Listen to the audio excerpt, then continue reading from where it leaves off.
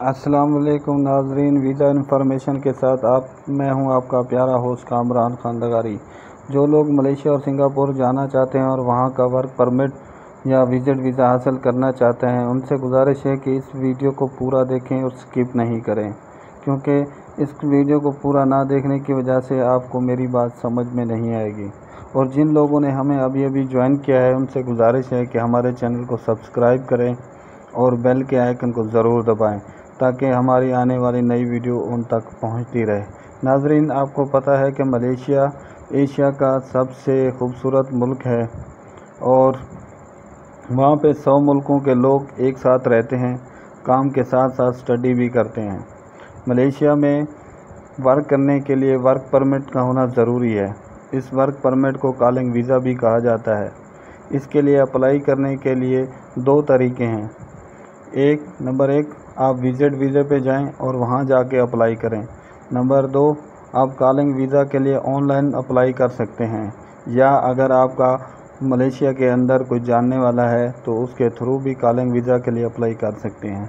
नाजरीन, एक बात और बताता चलूँ कि मलेशिया का जो वीज़ा होता है, या कॉलिंग वीज़ा होता है, वो नॉमिनेट होता है। जिसके नाम से कॉलिंग वीज़ा इशू होगा, बस वही जा सकता है। इसके लिए मेडिकल फ़िट होना ज़रूरी है, क्योंकि पॉलिसी 2018 के मुताबिक मेडिकल मलेशिया के अंदर होता था, लेकिन अभी मेडिकल यहीं पाकिस्तान में होता है। अगर अनफिट हो जाए तो वो तीन महीने के लिए वो कहीं नहीं जा सकता। जो लोग मलेशिया जाना चाहते हैं और विज़िट वीज़ा हासिल करके जाना चाहते हैं, उन लोगों से मेरी गुजारिश है कि अभी विज़िट वीज़ा पर पाबंदी है क्योंकि मलेशिया के अंदर अभी भी लॉकडाउन जारी है तो कुछ दिन वेट कर लें। विज़िट वीज़ा के लिए ज़रूरी है कि आपके पास 50 लाख से अबव की बैंक स्टेटमेंट हो। इसके साथ साथ होटल वोचर और बिज़नेस कार्ड का होना भी ज़रूरी है।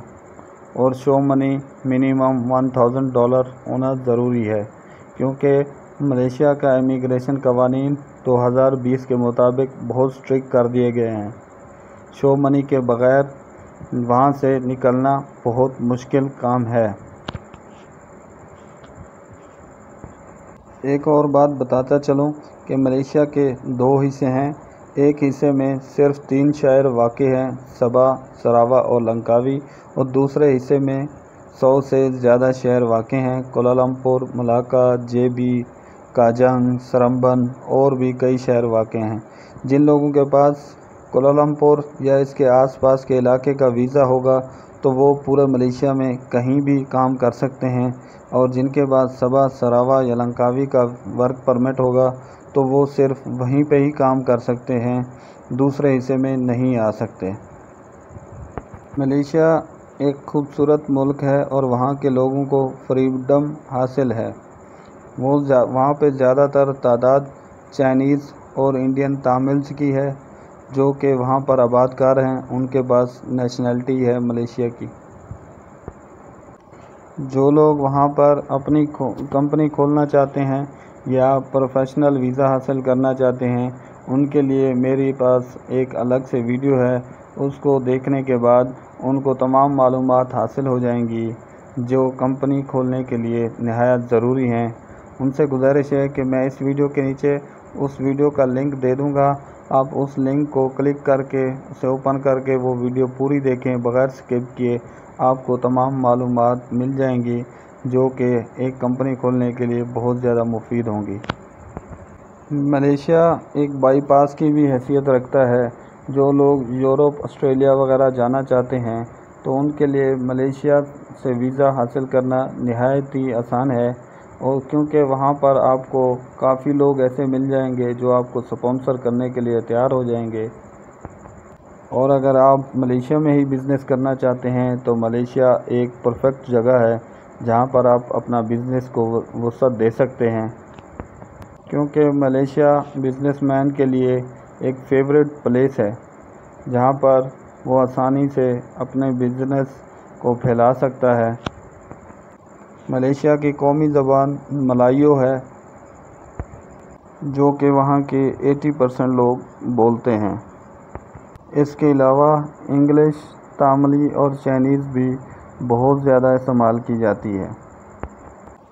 और सिंगापुर जाने वाले लोगों के लिए मेरा एक पैगाम है। सिंगापुर 1970 में मलेशिया से अलहदा हुआ था, जो कि इससे पहले मलेशिया का सिटी था।